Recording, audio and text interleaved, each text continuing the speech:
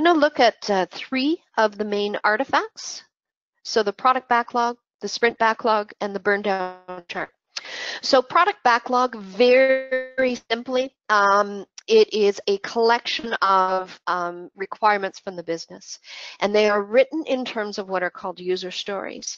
So, uh, for example, as a teller, I want to be able to find clients, by last name, so that I can find their profile faster.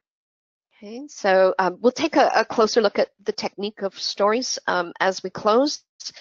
But these uh, stories, user stories are in place that define the role, what I want to be able to do, and why. So as a system admin, that's your role. I want to be able to configure user settings, what you want to do, so that I can control access. So what do you want to achieve there? And we'll also talk about story points. So story points are what help us to understand um, um, velocity of the team. So um, how many story points can a team achieve um, and uh, historically and what can we commit to. Um, again, I will talk a little bit more about estimating those story points because there's no hard science to this. It's about estimating and, and we've got some techniques for estimating those story points. But really simply, the product backlog is a prioritized list of user stories. Um, and remember, the role that does the prioritization uh, and owns and is accountable for this product backlog is the product owner. Okay. This product backlog is then input to the sprint planning session, and in the sprint planning session, they decide, they pick items from the product backlog, and these become items in now what's called the sprint backlog, because these are the items we're going to address in the sprint backlog. And that's where they take the stories from the product backlog item and break them down into more detailed tasks. And each of those tasks really shouldn't last longer than two days. If they are, then you need to break it down even more. There's a lot of breakdown happening here um, so that you can get people assigned to deliver um, effectively in that time frame of the sprint. The task board itself should be um, visible, whether that's through an online tool like a Trello um, or uh, any visible Kanban uh, tool. So Kanban means to do, doing, done. Just think of it as a big board with a bunch of sticky notes on it. It can also be like a very visible board in the scrum room if you have the luxury of having your scrum team all together in a room which is of course the ultimate most highly recommended approach for running a scrum but reality dictates sometimes we have people remote so you have to use more online collaboration tools. So the product backlog becomes the sprint backlog, which is the committed items.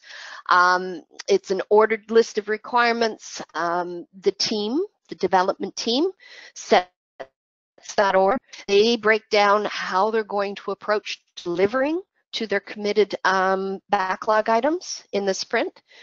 And um, Ah, uh, considerations or risks, any dependencies you don't want, uh, links and dependencies, what kind of deadlines you're working to, what are your timeframes in the sprint, and always, always, always uh, make it focused on delivering business value. I apologize, I did see a quick question come up there, um, but I, missed it. If you could just chat that again, I could address it while we're here. I think it had to do with uh, business requirements. So um, I'll continue until I see that again. Oh, here we go. Uh, thank you. Uh, I just saw this question. I just want to address it while it's here. Um, when do we expect the business team to validate that change? Do they do it in the next sprint? So should the real delivery take two sprints to go live. Okay, um, at any time during the sprint, the um, development team can reach out to the business. You do not have to wait for the review meeting. It is formally, the event formally in Scrum is the review meeting where you would demo and present your um, development to the business customer. But you do not have to wait for that review meeting You can reach a product owner at any time. Um, you can ask them to engage the business at any time with you. Um, it, it, it's it's just not that formulistic, okay?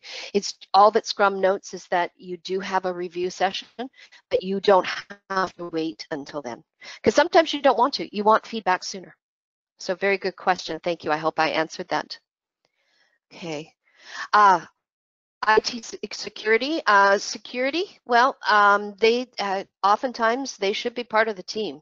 Um, if there are, are high security requirements, then that needs to be under, understood in what's being developed. So um, you're kind of getting into DevSecOps then, um, which is the development uh, development security operations coming together, and really that that underpins that DevOps and DevSecOps is based on this concept of agile as well and agile development. So it should be considered right up front as requirements. The final artifact we'll take a look at here is what's called a burn down chart. So again, along this line of being able to inspect and adapt and having transparency. Um, a very simplistic view is what's called a burn down chart. Um, and it's the tool that we use. Um, here on the very top right, you see ideal world. you see the uh, effort hours, so you could do that in effort hours. You could represent this in story points. There's a lot of great samples out in Google Land um, for different types of burn down charts. But in its simplest form, the team can estimate the number of hours um, that they're going to spend as a collective team in the sprint. And each day they can record um, their the hours spent. And so you kind of see uh, ideal line, that's the red line in all of these charts. And then in the top right hand corner, you're seeing, oh, everything's going great. Okay. However, that's not real world. So we've got other examples. The one on the bottom, uh, somebody said that reminds me of my college days because is uh, they're going along, going along, going along, uh, not getting it done, and then all of a sudden, boom, at the very end, you're racing towards finish. And the idea of Scrum as well is not to kill yourself on these things, is that if you've got issues, if you've got timing issues, etc., to talk about them right in the um, the daily stand-up so that you don't end up in this situation where you don't end up panicking to deliver because it's intended to be sustainable. You're not there for just one sprint. You, you need to be part of that team to really understand the benefits and the, and to achieve the benefits of Scrum for at least two, three, four, five different Scrums that are planned. Um, so, so don't burn yourself out. That's what this one shows. And the one up here on the top left, what this is showing us, um, some of you may have included this, is a couple of things. So one, just look at it um, explicitly. The team did not make their delivery goal. They, they, they didn't make what they committed to in that scrum. And sometimes that's okay.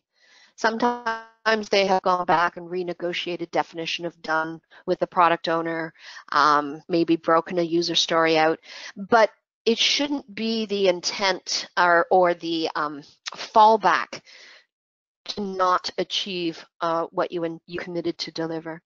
Um, but it does happen, and it just it goes back into the product backlog. Um, however, what is reality in real life, especially when you're starting, is um, a lot of times people forget to update their burn down chart on a daily basis. So they might have actually delivered it, but they just forgot to to, to update the burn down chart. Um, seen that too. So as as they mature through a couple sprint cycles, they start to understand the value of that burn down chart. Uh, once you've got this experiential data, then you can bring that into your next planning session when they're estimating their hours and, and committing to what they're going to be able to deliver. You can start to use some of this data moving forward. So that's three key artifacts, the product backlog, the user stories, etc. So who should update the hours of a burn down chart? The development team. This is their tool.